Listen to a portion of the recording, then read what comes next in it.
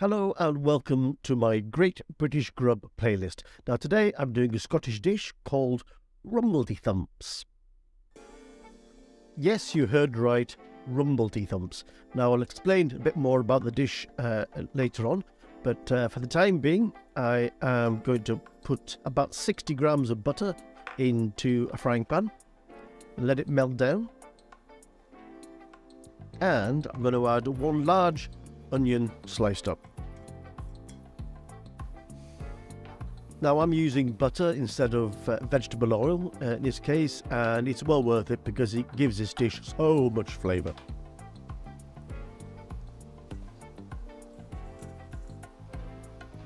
And then I'm adding half a head of cabbage, uh, finely shredded. Now I'm using Savoy cabbage but you can use any white cabbage, it doesn't really matter. Just mix it all in, and the idea is to let this all wilt down until it's uh, until it's quite soft, um, but not coloured. Going to add uh, a good amount of salt, good pinch of salt, and plenty of freshly ground black pepper. Now, every time I cook with cabbage, I always use a lot of black pepper because I just feel it brings out the uh, flavour of the cabbage more give it a good mix in, and as I say, let it uh, wilt down, um, and it'll take a while. I'm actually speeding things up by sticking a lid on. Uh, it'll help it wilt a bit quicker. And just check it every every few minutes to see how it's getting on. So, Rumbledethumps. Yes, uh, uh, I've absolutely no idea where this name comes from, uh, but it's rather cute. Um, this dish could be used as a main dish uh, it's essentially vegetarian uh, in this case, but uh, you could add uh, leftover uh, meat, cooked meat. It's in a sense, it's like the Irish colcannon and a bit like the English bubble and squeak, uh, as you will see. But it's put in the oven. It's cooked in the oven. So, after about 15 to 20 minutes, it's wilted down quite nicely. There's still one or two tough bits there uh, from the cabbage, so uh, I will uh, cook it a little bit longer uh, and we should be done.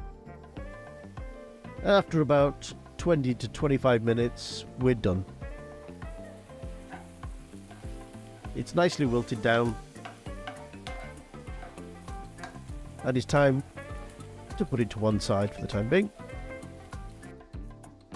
So, earlier I boiled uh, some potatoes, about uh, six uh, medium potatoes, and so it's time to mash them up. Now I'm not looking for a perfect mash here, in fact I quite want it to be a fairly rough mash, uh, so, so, there's some, maybe some larger pieces of potatoes to the left, uh, because it is a bit of a, a, a, a dish with a lot of texture to it. And to that I am going to add our cabbage and onion mixture. Okay, now give it a good mix. Uh, now this could be where the Rumbledethumps name comes from, the actual beating of the, uh, the vegetables together. Anyway, I am adding a small amount of grated cheese to the mix, and again, just uh, Rumbledethump it in. just mix it into the uh, to the vegetables. Then I get uh, an oven-proof dish and pour the, uh, the mixture into it. Spread it out. Now I'm not looking for perfection here. It's nice to leave it quite rough and uneven. And then spread it with uh, the rest of the cheese. And it goes into an oven at 200 degrees Celsius or 400 Fahrenheit for around about 20 minutes or so. And when it comes out, it looks like this. Now this is perfect for a midweek uh, dinner. Uh, it could be used as a side dish as it is, or if you add some of your leftover meat from your Sunday roast, uh, it can be a main meal in its own right. But it's absolutely delicious. That butter and the black pepper make it a delight.